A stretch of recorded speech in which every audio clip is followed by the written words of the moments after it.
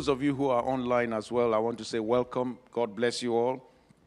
We thank God for how He's been helping us through this year. We're in month four already, and the year has gone is going so fast, so quick before our very eyes.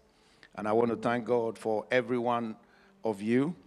And um, if you're online and you know about our social media feeds, that's fine. But if you don't, or even here in the hall, I want you to know that we are on Lifegate Outreach TV in, on YouTube, and all our messages are recorded there. And you can find us on podcasts of various kinds on your various devices, whether they be Apple or Android. Just go to podcast and look for Lifegate Outreach Center, and you'll find us there. I am confident that God is raising an army for himself in this end time. Praise the Lord. That is the inspiration of what we have got to do in our series that will last for the next 13 weeks. Praise the Lord. I think it is one of the longest. We've done 12 a few times, but 13 is probably the highest we've ever done. And we'll keep going. If God says we should do 20, we'll do 20. Maybe one year He will tell us to do 52. Who knows? Hallelujah. We just do what He says we should do, and we get blessed. I want to share something that's been laid on my heart since very early last year to share. It's just I haven't found a time that God will want it shared until this particular time. We are in the end times, and the series that we're about to start is called Grace for the End Time Holiness. This is not a popular type of title in our modern day. I can assure you this. It is not attractive, it is not something that draws crowd. Holiness itself turns people away because people don't like to talk about it. And then you're talking about end time, talking about the return of the Lord, preparing the church for the return of the Lord. But what I want us all to understand is that as Christians, this is what we live for. This is what we live for. It's like a woman and children whose uh, husband or father has traveled. All they expect is for him to return one day. And that's the same way we are expecting the return of Christ because he promised. God promised us that he will send his son. He has sent him. He promised us that he would die for us. He has died. He promised us that he will rise again. He has risen again. And Jesus, when he rose again, said, I am going. And the angel said, This manner in which you see him go, he shall likewise return. So he, he is returning. So when we talk about the end times, we are talking about the time as it gets closer and closer to his return. Whether it takes another day or another year or another thousand years, it doesn't matter. The truth is, he will return because he cannot break his word. So we need to be living every day as if we're waiting. The Bible talks about those five virgins who were wise and were preparing every day for the coming of the bridegroom. And those who were not wise did not trim their lamps, they just lived casually. And when the bridegroom came, they did not have lights in their lamps because there was no more oil. But the ones who were clever and were meticulously waiting had the opportunity of going with light to meet the bridegroom in Matthew 25. This is what every one of us should understand that should be our life. Thank God for everything we are accomplishing. But you just need to think a little bit about your life. I was at a friend's 60th birthday, pastor friend's 60th birthday yesterday, and somebody whispered to my side, at my side, he said, It was just like yesterday when we celebrated his 50th. And that's true. That's how quickly time flies. I remember when I was 15 and my late father turned 50 in the year 1984. And I looked at my life at that time and I said to him, I said, Dad, you are now an elder. Praise God. Because I was only 15 and I looked at a 50 year old man. I felt this man is now very old. he just smiled that day. God bless him and God rest his gentle soul. He just smiled at me. He didn't say anything. In 2019, I went to see him just before he left us a couple of years later. I went to see him in Nigeria. And as soon as I walked, at that year, this is the year I turned 50. And as soon as I walked into the house, he saw me. He said, David, he said, You are now an elder. I said, Dad, you didn't forget. and we both smiled. That time he was in his 80s already, of course. But that's how quickly it comes. Where did 35 years at that point in time go so quickly? So this time is flying by, and whether you like it or I like it or not, one day we will just find that he appears. Whether we're in the grave or we're still alive, it really doesn't matter. But the truth is, we must understand that He is coming back. And so we're taking this time in this series to look at all that God has said already through His Word about preparing for His coming, especially to be careful about the things that will be happening. The prophecies that have already been said about the mannerism of men and the attitude of men. This is what this series is all about. And Paul was very succinct in his understanding of this kind of things that will be happening to mankind. I always say it is foolishness to see what God has said people will do and then go ahead to do it all the same. It is foolishness. if God said somebody, people will behave in a certain way, it is mere foolishness for you to read it and then be behaving the same way. And if He has said that anyone who behaves in that way is not going to have a portion with Him, why go ahead and do the same? So, we are talking about multiplied grace this year, and one of the graces that God wants us to have is the grace to have the kind of holiness, the kind of walk with God. Don't forget, I told you holiness is our walk with God, righteousness is our status in God, holiness is our walk with God. So, when we're talking about holiness, don't let your mind go to certain things that have been taught in religious schools. It is just about how you walk with God, how you are a friend with God, how you do the things that God, your friend, wants you to do. That's holiness. How you don't do those things that, your, that God, your friend, does not want you to do. The Bible says God looked at Abraham. He said, I am the Almighty God. Walk before me and be thou perfect. That is the way we walk together. That is the way we can walk together. I want to lead you to the promised land. I want to give you the promises I have promised, I've made to you. But there is a condition you have to walk with me and you have to be perfect in your walk with me. So we are talking about this grace to be able to walk with God as He desires. This is why Paul in, in raising Timothy in ministry, spoke to him in his letter, what we read as the epistles of Paul to in First Timothy and Second Timothy. He spoke to Timothy quite a lot about what the church should be. The whole of First Timothy is much more about the characteristic of a leader in the church, understanding what it means to, to serve in leadership and what ministry entails and so on. But you see, when it now got to the second uh, epistle, that is second timothy. He starts to talk a little bit more about preparing timothy for the kind of things that a minister must make sure that they don't get involved in. And when we're talking minister here it's not just talking about pastors. We're talking about christians. And this is what led us led him to this particular point in second timothy chapter 3 where he now begins to tell him about being careful of what was going to happen in the end time. He called it perilous times and so we start our sharing from there in Second Timothy. I would like to read verse 1 to verse 5. I know we read up to verse 4 in our Bible reading, but if you can give me verse 1 to verse 5, every one of us will read it together as usual. So the title of today's session is Overcoming Self Centeredness and Greed. Overcoming Self Centeredness and Greed. Even though our series is going to be on grace for end time holiness, we're focusing today on overcoming self-centeredness or selfishness and greed. Let's read 2 Timothy chapter 3 verse 1 together. Everybody let's go. But this that in the last days perilous times will come. Verse 2, very important. That is our part, where our part of where our focus is today. Verse 2, go.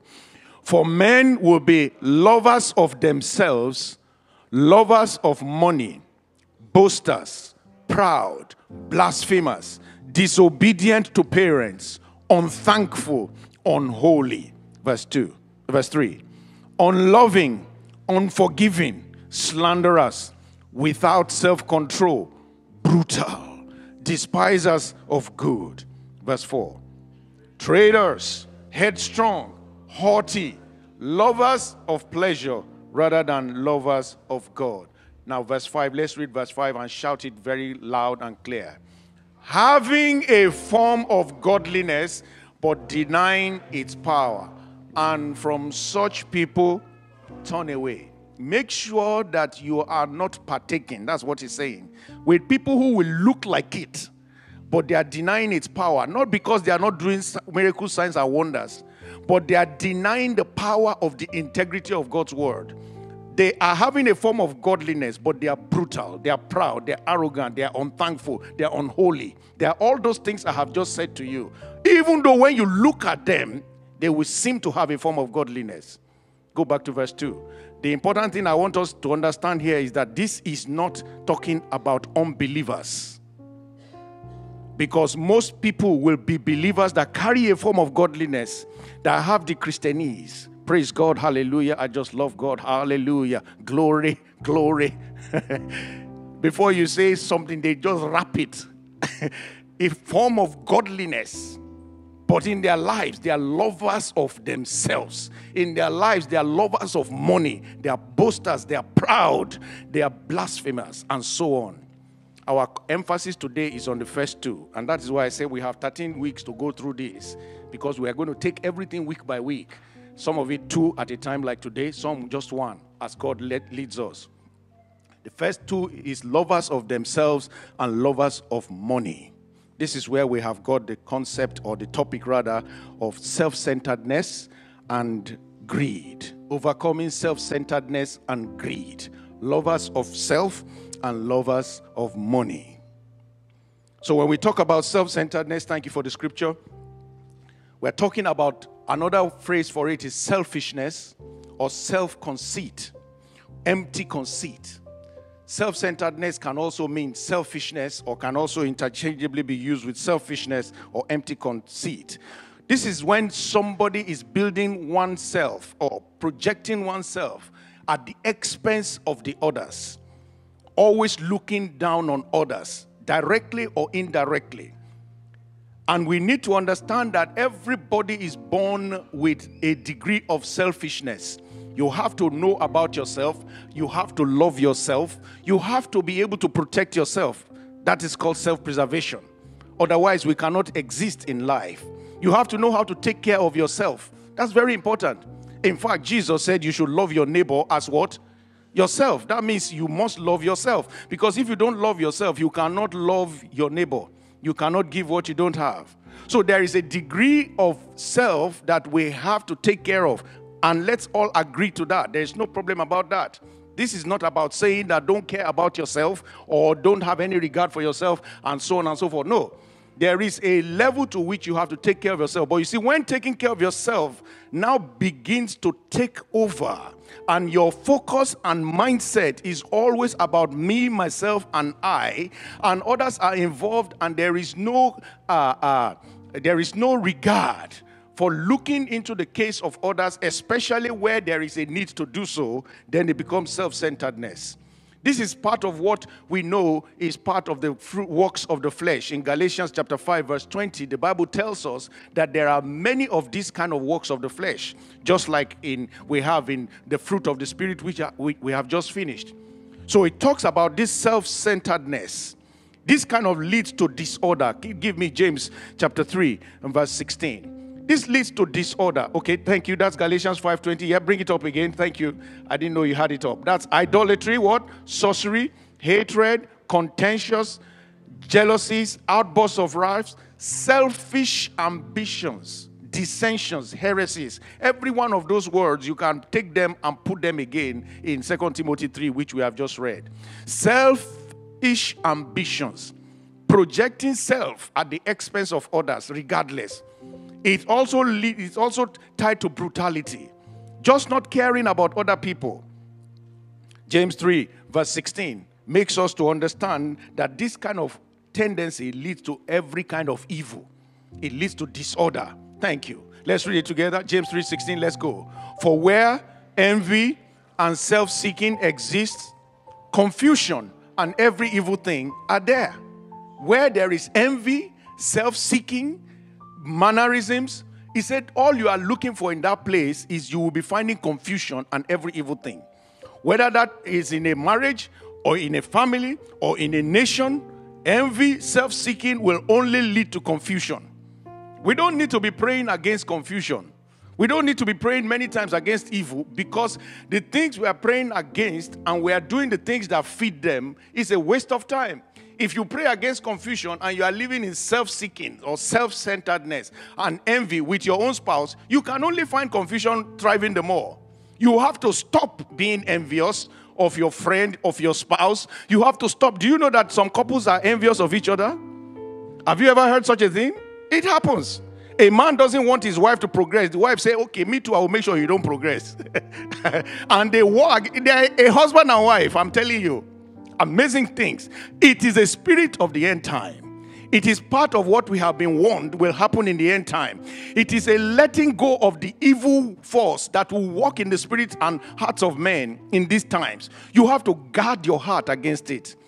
When you are self seeking in a marriage, you will always find confusion and every evil thing there.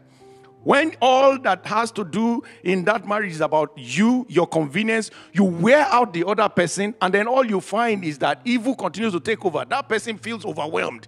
They say, This person is placing too much of a demand on me. And then you find that they are winning in that marriage, and that is how evil persists in such places. When it persists in a church, even though they are a group of believers, they wear out the other brethren, they wear out the leadership of the church. Some people in this day and age, church for them is me, myself, and I. Nobody else after me. Nobody gave me anything. Nobody smiled to me. Me, me, me. I, I, I. Every day is me, and it has to be about me. They preached about me. They didn't preach about me. They know what I'm going through. They don't know what I'm going through. It's just I, I, myself, me, myself, and I. If everybody lived like that, it would be full of contentions, evils of all kinds. Church must be a place, and like any relationship, must be a place where we are not self centered. Selfishness made the children of Israel to put God to the test. In, in Psalm 78, we read that verse 17 to 19. God took these people out of bondage in the land of Egypt. And the Bible says God was feeding them with manna and was feeding them in the wilderness that they did not have a clue of how he was feeding them. But the Bible says from verse 17, we read it to verse 19. It says, They sinned even more against him by rebelling against the Most High, even in that wilderness, because they were just thinking about themselves. Verse 18. Go to verse, we're going to verse 19. Thank you. Verse 18 says, And they tested God in their heart by doing what? Asking for the food of their of their fancy. God was giving them manna, giving them water out of the rock, manna from heaven, water out of the rock. They were asking for cucumbers. They were asking for lettuce. They were asking for cabbage, things that they ate in slavery in Egypt. They wanted that food again. A people that had been de- de- delivered from the same place of bondage were asking for the food of the prison again because of their selfishness and self centeredness. Verse 19. Go to verse 19 very quickly. He says, Yes, they did what? Spoke against God. They said, Can God prepare a table in the wilderness? Selfishness will make you doubt the integrity of God. It will make you undermine everyone else around you, including God, just because it's about you and it's about your feeling.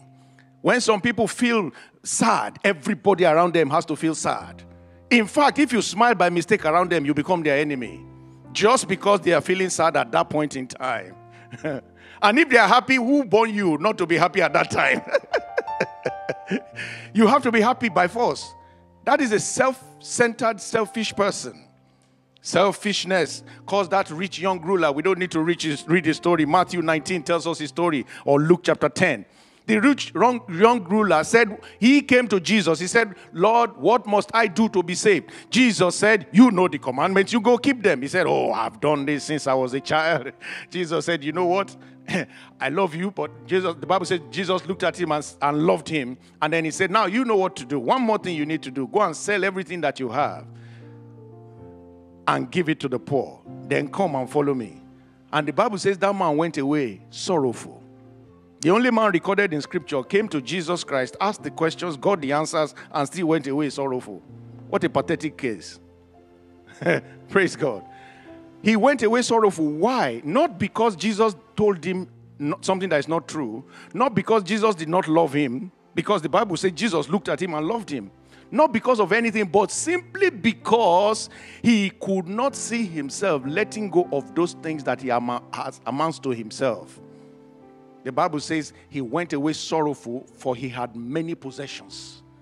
He was putting his life and tying his life and the things that he has to those possessions. And he could not let go. It was just a test. It was just a test. Every one of us must not allow ourselves to ruin our friendships because of selfishness. James 4 3 tells us that even it hinders our prayers. Self centeredness hinders prayers. When you are praying and your heart is always about you, look at what the Bible says in James 4 3. Thank you. Let's read it together. You ask and do not receive because you ask amiss, that you may spend it on your pleasure. And you know you cannot fool God. You can say, Lord, if you give me this thing, you know I will serve you all my life. He knows your heart.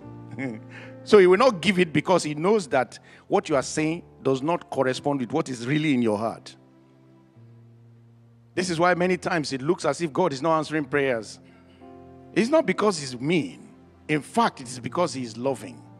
There are some things that if God gives to some people, they will no more be Christians. I'm telling you. They are Christians today simply because they are still looking for that thing. And God knows. He knows that the day they get it, that's the last day you will see them. In. He will just say bye to all everybody. and he's not wicked. He loves them so much. So he continues to make sure that that thing doesn't get to their hand. Go pull up that verse again. Pull up that. He said, You ask and you do not receive. Because not because God is mean, not because God did not hear, not because God does not know what to do, or because God cannot answer. He said, Because you are asking amiss. And then he explained the meaning of asking amiss. He said, That you may spend it on your pleasure. So it's not enough to say, Oh Lord, you know, like Hannah said, that I will give you this child if you give him to me. It's not enough to say it. God is looking at the heart. That job that you are saying, Lord, if I can just get this promotion, my tithe will increase. He knows the one you are doing now, the tithe has not even matched up to what you should be doing. So he knows exactly. He will just be laughing. The Bible says God will sit down in heaven and laugh. He laughs many times because he knows exactly what the heart of man is. The selfishness in our heart, in many cases, is what is hindering us from being the persons that God wants us to be. But what this series is come to do, and this topic particularly, is to break every stronghold of self centeredness in you. I say to break every stronghold of self centeredness in every one of us, in the name of Jesus. Luke chapter 12, where we go to verse 16 to verse 20. We have read it before Dr. Matthias led us earlier on, for those of you that may not know, in the Bible reading today, we have three portions 2 Timothy 3 1 to 4, Luke 12 13 to 21, and 1 Timothy 6 6 to 10. Luke 12 16, Luke 12 16 to 21. Jesus spoke a parable to them. He said, The ground of a certain rich man yielded plentifully. And he thought within himself, saying, What shall I do, since I have no room to store my crops? So he said, verse 18, I, if you have time, count the I that is there. When I counted about six, I, I say, enough, I'm not counting again. But there could be more. He said, I will do this. I will put down my barns and build greater. And there I will store all my crops and my goods. Everything is just him, him, him. No thought, no thought. How much, how much do you want to store for yourself? How much do you want to store for yourself? How many rooms in a house can you sleep at once? How many cars can you drive at once? That's what this man is saying. I will store all my crops and all my goods. He said in verse 19, he said, And I will say to my soul, Soul, you have many goods laid up for many years. I have planned up to my retirement. He said, Take your ease, eat and drink and be merry. No consideration of giving to others that may not have had the same privilege of life. The Bible says the grounds of a certain rich man brought forth plenty. That simply means some other people's grounds were not doing as, as, as good.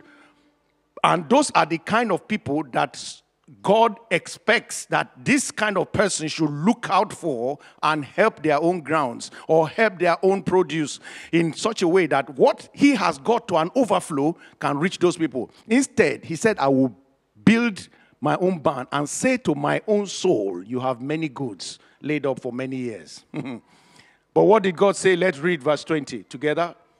Let it, let's see what God said to him. You said what? But God said to him, fool. This night your soul will be required of you. Then whose will those things be which you have provided? Whose will those things be? Now, don't get me wrong. In this life, you should work hard to leave a good legacy. A good legacy of a name, good legacy of property and things that the next generation coming after you, especially those that you brought into the world, should have something that they can leverage and build upon and live for the generations to come. is the way God designed and patterned life. Abraham left things to Isaac, Isaac left things to Jacob, Jacob, and so on and so forth.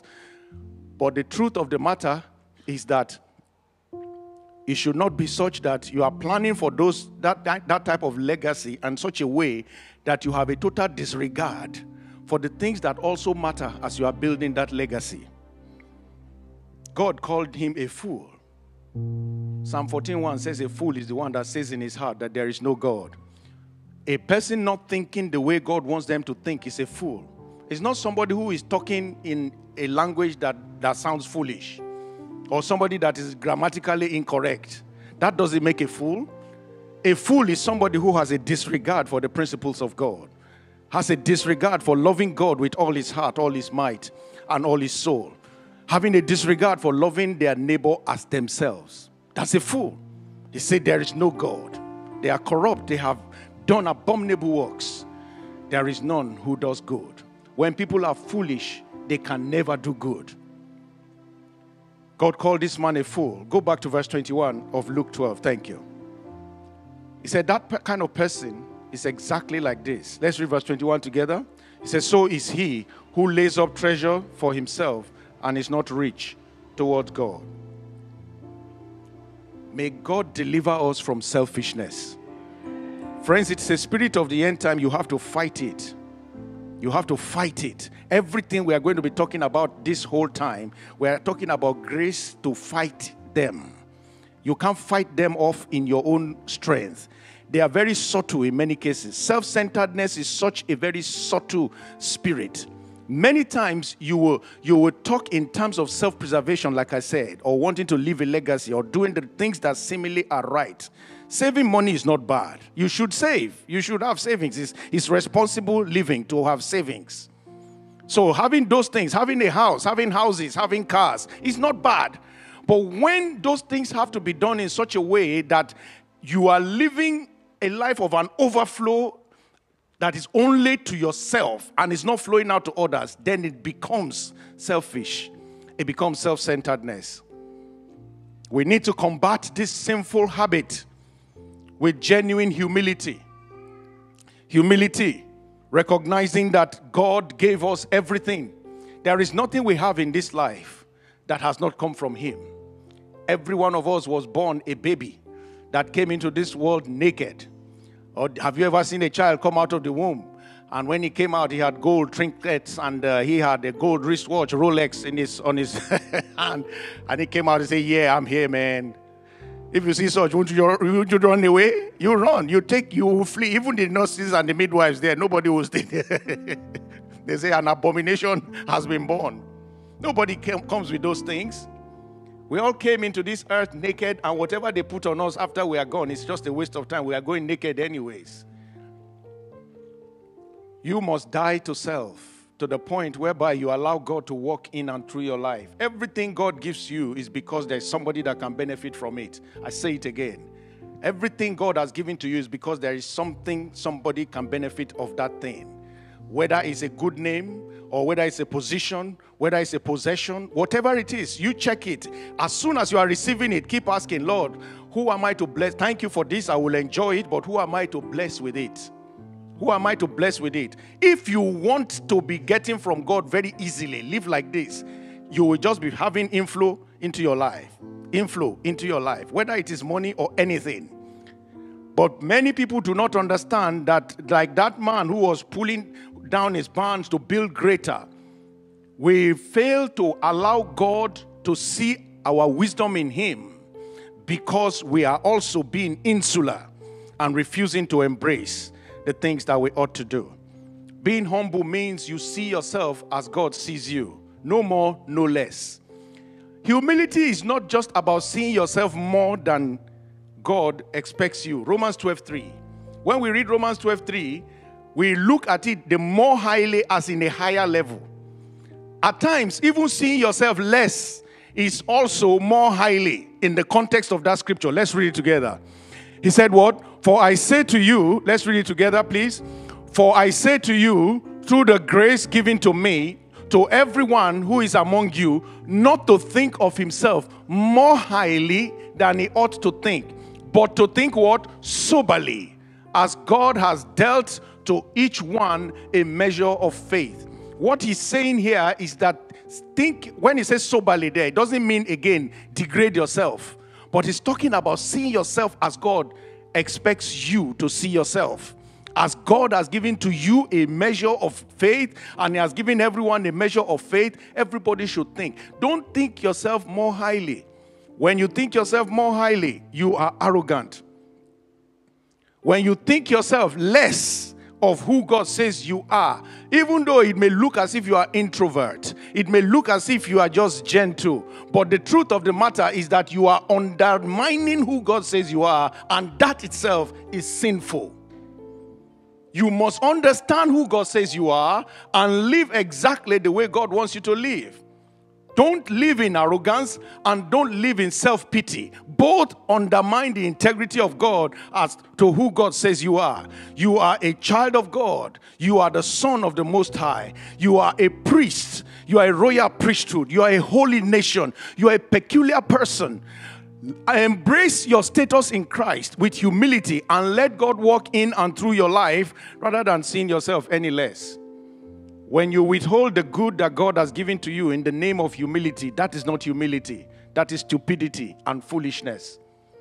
God gives you a gift to be able to be a blessing to people. You say, I don't, I don't, I just like to be quiet.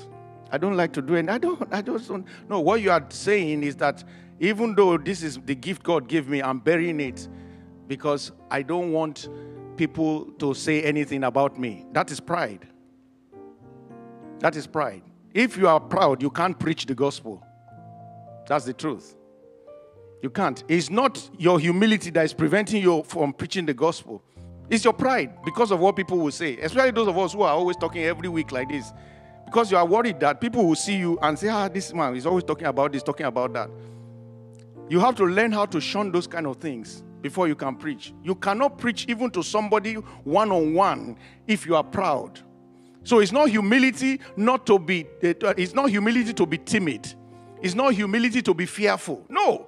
That is pride. Because we always look at pride as arrogance. So I don't want to waste too much time on that. Everybody understands. When somebody comes with an air of arrogance, you can almost cut it with a knife. It's so strong, you feel it. In fact, their demeanor can be very annoying. you can see that. So everybody knows that. So I'm not talking about that kind of pride. I'm talking about this one that most times we don't know is pride, but it's just pride.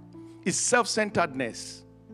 You're refusing to do what you should do simply because you're afraid of what people will say is self centeredness. God says you should do something, then you are refusing to do it.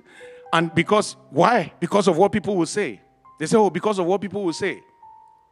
I want you to know that as long as you live like that, it is the spirit of the end time, self centeredness. Break out of it. Be who God says you should be.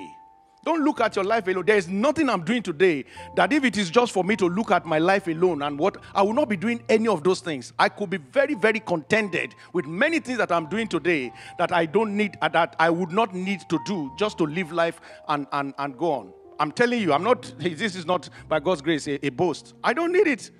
I don't need it in terms of what God has done for me. I've been working since age 20. I'm 55 years old now. I've been driving for almost 40 years to give you context of how, how long I've been around here. Praise God. so I've done things. I've been everywhere. I've been to many countries, many countries. My wife and I have been to many countries. At times we even forget. And I remind her, do you know that that time we went to? She said, yeah, that's true. At times we confuse two countries because we experience things that look like the same. We've been things. We've been done. We've been doing things, and we're grateful. But you know something? For me to fulfill mandate and to be here every week doing what I'm doing now is because there is something that somebody else must get. There is something that something must be passed on to somebody else for their own life to make progress, as God helps me to make progress as well. This is why we do what we do. You must be humble. Look to your neighbor to the left and the right. Say, please be humble. I said left and right. You did one side. I was waiting. I'm a teacher. I would know. Don't forget that I'm a teacher as well. I'm a lecturer as well. So I said left and right. You say, please be humble. I'm waiting for the second one. Hallelujah. Please be humble. There's a funny story of a man who was given uh, a prize for being the most humble man on earth. And as soon as they were about to give him the prize, when he stretched out his hand to receive it, they took it away. They said, The fact that you want to collect this prize, you have failed. that you want to collect a prize that calls you the most humble man on the earth. You too, you stretch your hand, say, Thank you for it. because that your action makes you proud. Even though they said they recognize you as the most humble man on the earth, the most humble man truly will say, Oh, thank you very much, but you know what? I can't take this. Now you understand. but they say you are the most humble man on the earth. Come and collect it. You said, Yeah, thank you very much. they, they took it away. They say, Ah, definitely it's not. We are still looking for the most humble man on here. Be humble. Humility will take you far, it will take you to places that you cannot imagine. But when you are full of yourself and all you think about is yourself, your convenience. My wife said to me in the course of the week, he said, Temi, you need to rest. Say, you've been working very hard. Say, you need to rest. At times, I just carry on. Yesterday, I was in about four meetings for people, doing things for people, just to help people, people, people my Saturdays should be days I, sh- I should shut down because of the way my week goes very busy. But I still went ahead and did those things. She looked at me, she said, You need to find some time to rest. And I want you all to understand that we don't do those things because we just want to make a name for ourselves. We do it because we have to be selfless. We have to be selfless. I saw my father lived a selfless life, and my grandfather first lived a selfless life all his years and rested well. I saw my father do the same. Why should I do any less? I learned from those men that when you just empty yourself every time, you, be, you are a friend of God. He protects you, He guides you, He takes you to places that you could never have reached. My father used scholarships from age 15 in their time, age 15 till he studied up to age 50. He was using scholarships and scholarships and because his parents both died. He used scholarships within Nigeria, used scholarships in America. God opened doors for such people. Some of the men, I humbly say to you, some of the men, my father was very selfless in raising today. Raising and raising, working with them, making sure that they were well discipled, becoming Christians. Some of them, their children, they are, were together in this church today. I won't tell you who they are, so you won't be saying, ah, so, no. but their children are here today, including my own wife. At least I can tell you that one. Including my own wife. My father was just on scholarship, like I said, earning bits and bobs of money. He took, he saw my father in law way many years ago. He saw my father in law now in our town. He said, What are you doing now? My father in law told me this story the first day he saw me in the year 1992. And he said, You want to marry my daughter? I said, Yes, sir. You sure you like her? I said, Yes, sir. He said, I'm very glad that God has done this for me. I said, Sir, what do you mean? And he told me the story. He said, Your father gave me money to go to school and to join the so that I can join the army because he saw me at home not doing much. When he was just a student collecting scholarship money, he saw my father in law and he said, You don't need to be here. You can go to school. He gave him money to school, and then that's how he joined the army, and the rest is history. He told me that story himself, my father in law. So he said, I have no dowry to collect from you. All I need to ask you to do, you want a wife free of charge? All of you are already planning. you want free of charge? That's the secret. he said, I have no dowry to collect from you. You just go through the customary rites, anything family wants, you do all those things. Say, but me to collect dowry from you? Say nothing. Say, Your father made the biggest impact in my life at the time it mattered the most. That's good enough. Praise the Lord. So you never can tell. And there are a couple of other people here, I won't tell you, but I know the impact my dad played in their father's life. When God said, Don't live to yourself, He knows what He's saying because it is a transgenerational blessing. There are places I go today that people still today, people will still tell me, Your father did this, your father, and I didn't know all that at that time. Your father did this. The day we were burying him, they said people should come and be giving testimonies. This one came out. They said, My father paid for my uh, uh, forms to get to go to master's college. I said, Who is this one? I asked my sister, I said, Do you know this person? Said, I don't know where that one is called. In our house, you will see about 15 people at a time. You say, Who is this one? They say, It's your cousin. Who is that one? It's your cousin. Everybody, your cousin, your cousin. One day I called my mom. I say, How many cousins do we have? Which, which kind of family is this one? Everybody, you had only three of us. So, well, who are these cousins? Everybody's your cousin. Praise God. But today, you know, the story is different. And this is why at times I don't rest. In my own little way, of course, a lot to do. But my own little way, I learned from there that, you know something? You just reach out to other people every time. God will be on your case every time. This is why you cannot fight me and survive. If you fight me, you are fighting God. it's not a boast, it's not an empty boast. You cannot fight the person who is truly a friend of God. You can't. You'll be crushed. You'll be crushed. In 2017, I called a group of leaders who were here in this church that time. I said, God is laid on my heart that we should buy this building. We were here about four years that time. I said, let's buy this building. I said, I don't know how much it will be, but we want to try and raise about a million pounds. I took them to a retreat to a place that we should pray together. I didn't know that as we were praying, their heart was already fainting. One million pounds. if you know how we were at that time, you will not. Now, maybe it may look like, oh, it's, it's, it's okay.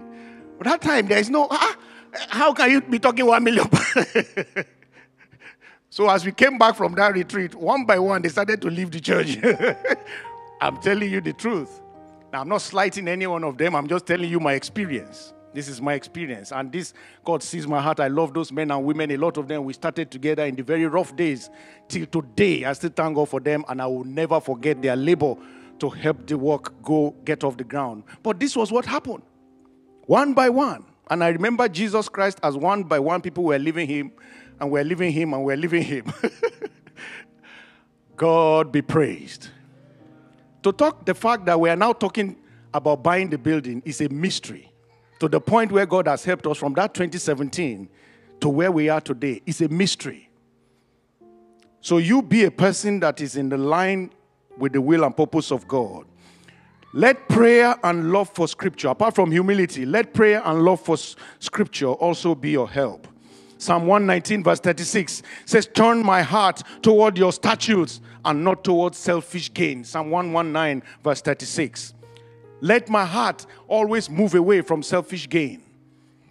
Everything that will always want to point you to you yourselves, to you yourself. Yeah, incline my heart to your testimonies and not to covetousness, selfish gain. Incline my heart to your testimonies, your word, and not to covetousness or selfish gain or selfishness. Every one of us must have a love for scripture indeed. We must have a love for the things that God said we should do and a love for the things that God said we shouldn't do. It helps us to overcome selfishness and self centeredness. The third cure for selfishness or self centeredness is to know where your treasure is. Are you working for everything that is only on this earth? Are you laboring for what is on this earth? The Bible says it will perish. It will perish. Whatever you have today, just give it some time. Before your very eyes, it will grow old. I remember in the year 2003, I just bought a brand new Toyota Avensis. Let me even go back. In the year 1997, I was given a, a brand new Peugeot 406, red. There were only two of it in the town I lived in northern Nigeria. They brought them from France for a project we were doing. And I was 27, 28. I was very young. Many times I'll tell my driver, go home. I just want to drive that car. because I enjoyed it when I get into it. You know, when you are driving a car, there's only two of it in the whole town. You'll be the talk of the town. Myself and my boss, he had a blue one, I had a red one.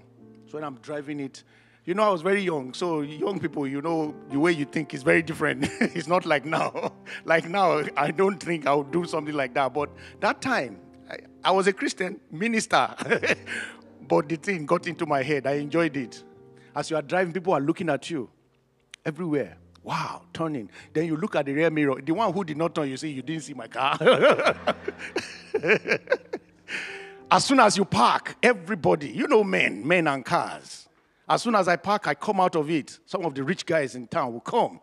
Say, David, and some of them knew us because we were in a, a consulting firm that was very popular in that town. They come, David, how do you guys get this car? Because there was none of it yet in the country. They were imported fresh from France. It was a couple of years later they started to bring them. That car today, all of it, I don't know whether you can see any of it in town. They're all in the junkyard. Just 25 years ago, they're all in the junkyard. A few years later, I got to this country. God started helping me. I brought a, I bought a brand new Avensis, Toyota. And that was also looking sparkly then. I remember going to see a guy. Uh, I was trying to work something out for University of Wolverhampton with a company, and uh, the guy was very arrogant, very arrogant. He looked at me. He said, Yeah, what can you do? And blah, blah, blah. And I was just talking, trying to explain to him what I was about doing. And then we finished the meeting. I don't know whether he believed me or not, but we finished the meeting. We started going out. When I got outside, I wanted to show him again. I was still young that time, 20 something years ago. 20 years ago, you have to forgive me. So I wanted to show him that he has been very arrogant to me. Now I will, I will oppress him. Because I know that the car, many people liked it that time. I flicked the thing from where we are standing. I could go to my car to put my key, but I wanted him to see my car do quick, quick, like that.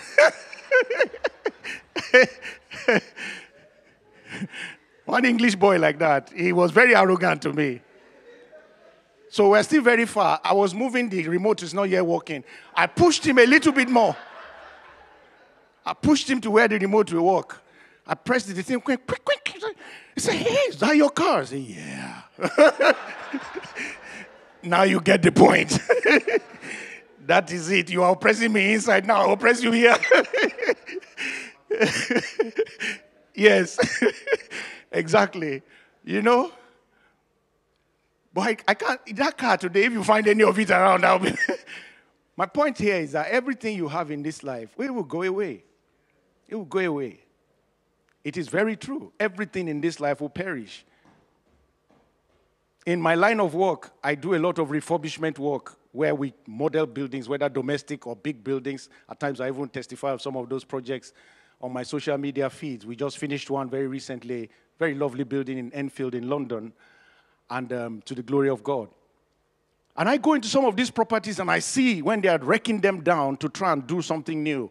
And I stand there and I say, you know, some time ago, 70 years ago, 80 years ago, this was somebody's dream. This was somebody's architectural masterpiece. Here we are wrecking it down now to make something that is more contextualized and relevant. It will go one day. So don't put your mind on the things that are on this earth. Let your mind, let your treasure be in heaven, in the things that matter to God. We can read Matthew 6 19 to 21. Don't turn to it.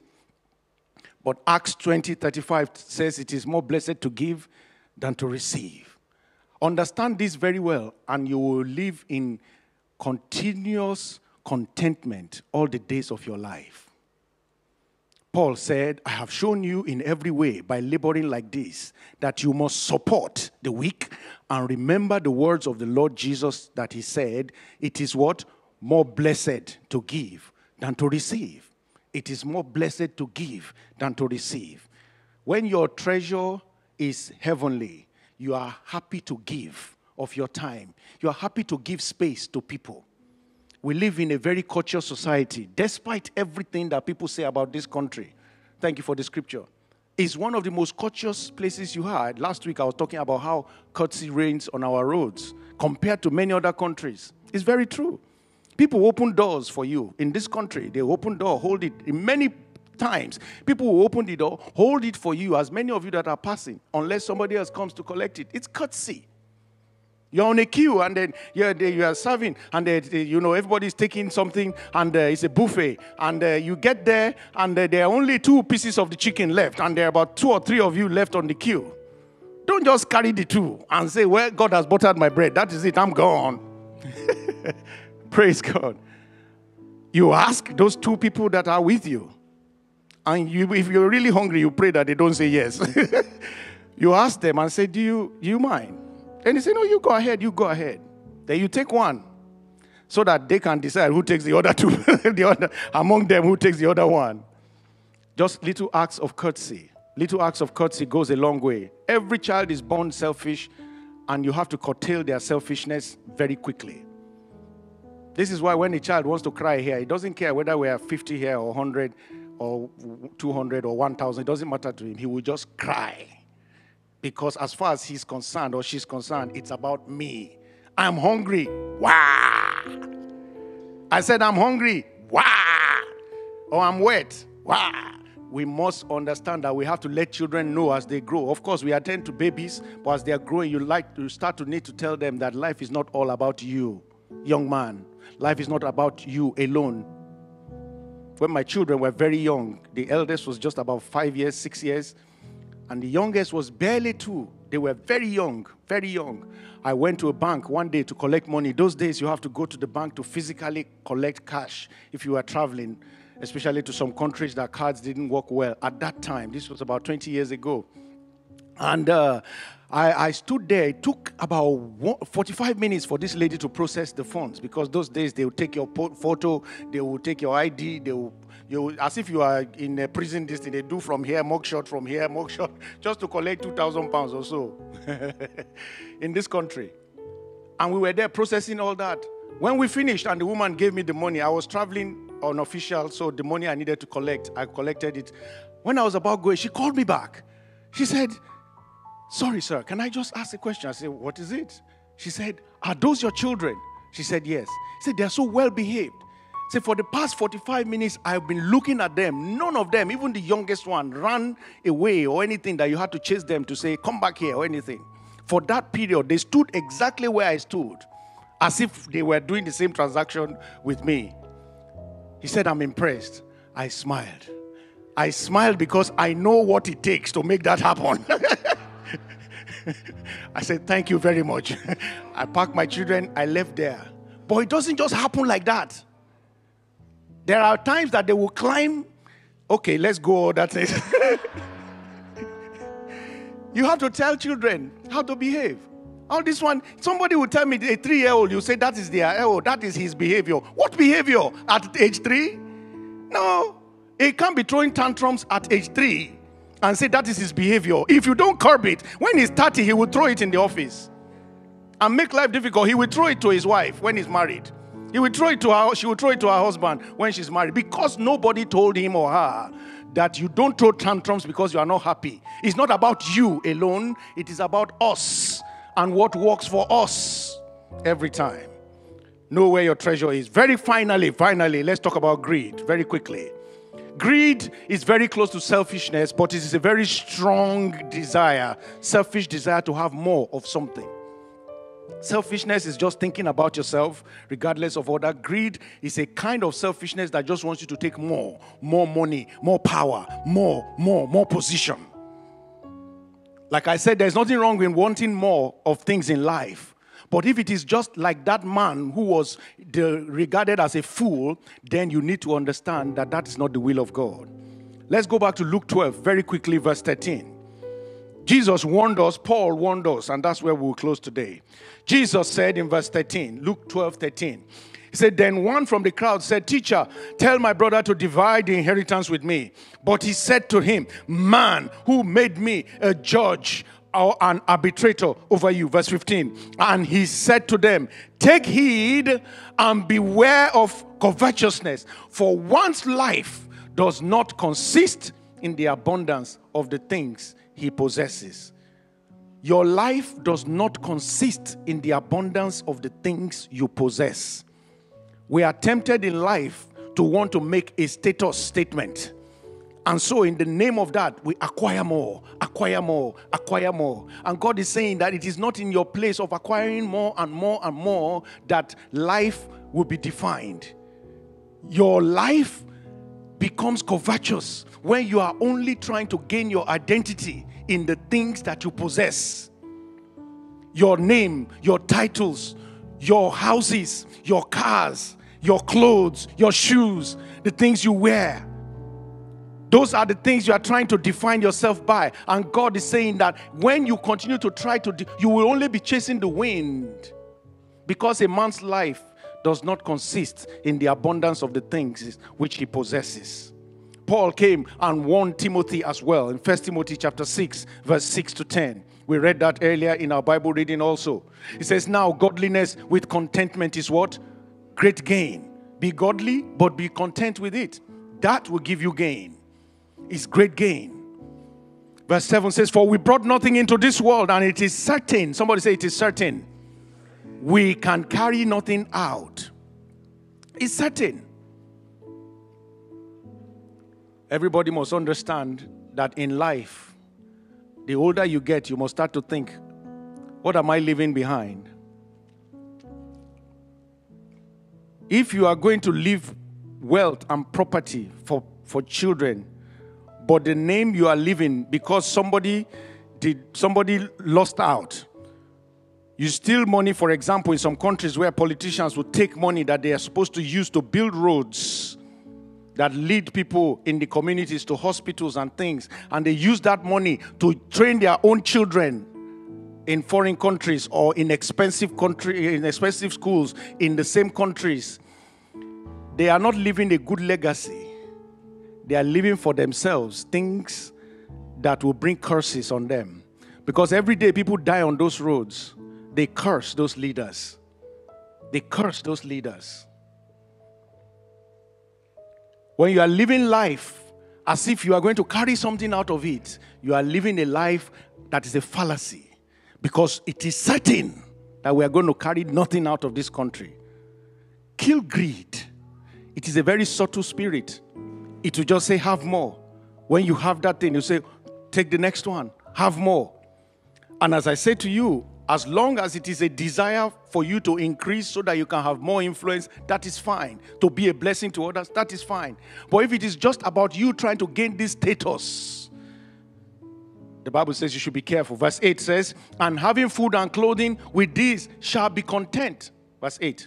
Having food and clothing, with this we shall be content.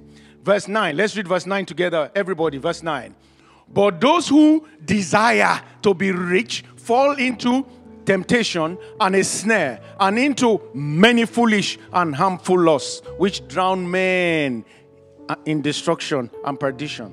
He didn't say those who are rich, he didn't say those who God made rich.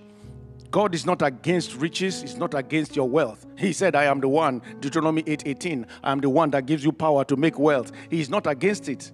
But you see, I want us to understand, even in the so called prosperity message of today, and this is where I may ruffle some feathers, we are preaching greed as opposed to the true biblical prosperity.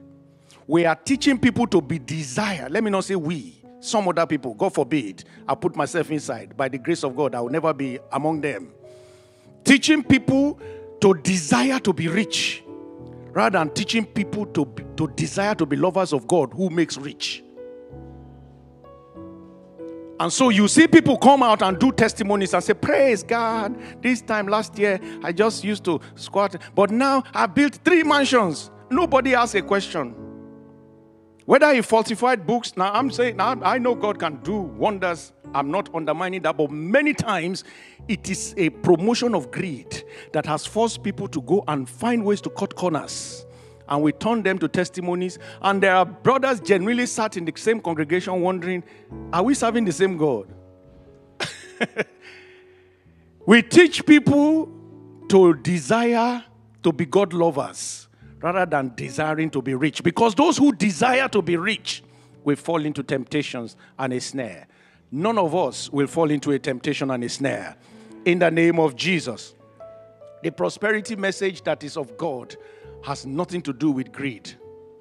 Whether greed on the part of the clergy or greed on part of the laity. It has nothing to do with greed. Some pastors, in the name of having wardrobe, have been taking wardrobe allowances from their church. And then it's not just about buying basic clothes, they buy expensive clothes because they are competing with other pastors.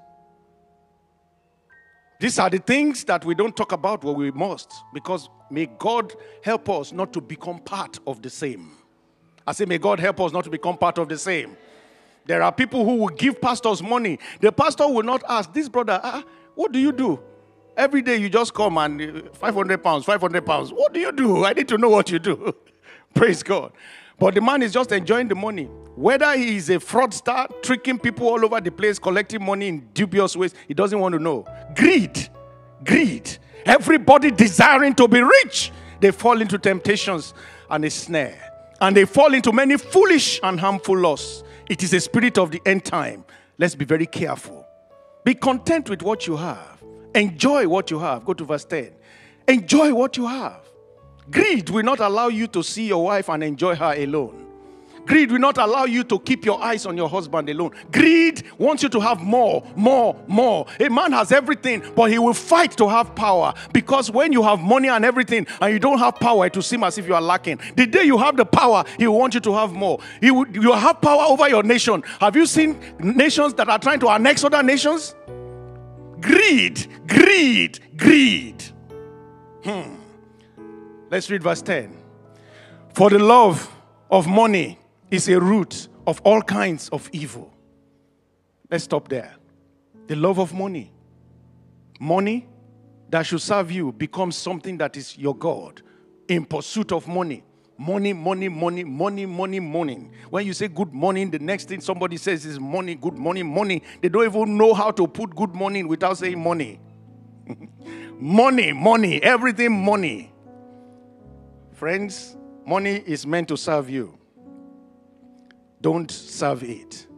He said, For which some have strayed. Sorry, put it back up now. For which some have strayed from the faith in their greediness. They have strayed from the faith in their greediness. They used to be Christians in the so called mentality of wanting to gain prosperity or to prosper. They stray from their faith because they have gone on the side of greediness. We will be talking more about these things in the course of the week. Let us all be very careful it means people pierce themselves through with many sorrows. Everything that God has given to you is good enough. There is more He has for you. Just wait upon the Lord and enjoy it. Hallelujah. God has given me a grace to know how to wait for things. I can wait for many years for things. I can wait. I can wait. God is helping me. I'm still growing in that area, but I found that I really don't struggle to wait for things. I can wait. I can wait for the position God wants to give me when it's time. I can wait. I can wait. Learn to wait because when you wait, you come into a place where you are never sorrowful. The Bible says in Proverbs 10 22, For the blessings of the Lord they make rich and they add no sorrow. When you rush ahead of time, you add sorrow to yourself. The principle is to remember that God said He would never leave you nor forsake you. I conclude finally by saying that we must prayerfully overcome every form of selfishness and greed because God says it is generosity that attracts grace. If we want grace, we must be generous. Second Corinthians 9, verse 7 to verse 9. It says, So let each one give as he proposes in his heart, not grudgingly or of necessity. For God loves a what? A cheerful giver. Verse 8, 2 Corinthians 9 8. This is our anchor scripture for the entire year, but let us remember. He said, And God is able to make all grace, verse 8, abound toward you, that you, always having all sufficiency in all things, may have an abundance for what? For, for what? It's on the screen. Can you read it for me? The last phrase may have an abundance for what? Every good work. It's not an abundance for show off. It's not an abundance for yourselves, it's an abundance for every good work. When you sow a good seed, it brings about the working out of every good work. Our heart desires should be seeking first the kingdom of God, being a blessing to others. We have the opportunity today of breaking bread. Jesus said, Beware of covetousness. As we break the bread, we are going to be praying that God will help us every time we are going greedy, covetous. He will open our eyes. Because you don't know. Many times you don't know. What you do today helps others. I was saying to our fellows, we had a, a short social outing yesterday, and I was saying to them that every set before you have done something that has allowed us to bring in another set. And I explained to them how it works. That if you do, there's an event that we need to host others and host the main sponsors in the course of next month, I think. I said, if you do it very well, you sow a seed that will give us a good name and help us to bring in more people again next year, to be a blessing like you. This program has transformed many lives. Many lives. Because it's not just those people that came here. Some of them have gone and have done fantastic stuff, trained other people. Oh, is that not true? Done stuff. Because a church, God helped us to get wisdom. And these men that run the program, they walk in the night. They selflessly do this thing. None of us get paid for anything. Maybe some of the aspects of the delivery, but nothing, nobody's on a salary to do it. But they do it in the night. They do it in the weekend, Sunday night. Prepare the programs, put it all together. We write the proposals through the nights, through the weekends, through evenings many times. Just because it can bless some people that can be a blessing to their own communities. This is what this life is all about. And so I'm sure that this year, what God will be doing in your life and my life is that He will be taking us to places we never imagined. Just because we have decided to partner with Him, to forget about ourselves, as it were, and let Him have His way in and through us. In Jesus' name, Amen. Let's rise to our feet. Hallelujah.